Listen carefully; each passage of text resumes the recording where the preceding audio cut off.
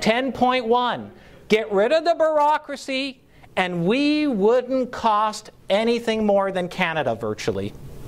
Except we wouldn't be at all like Canada because we wouldn't have all that limitation and restriction. Indeed, pretty much all socialized systems, of which almost all world health care is right now, runs between 8 to 10% of GDP. Just imagine getting rid of the bureaucracy alone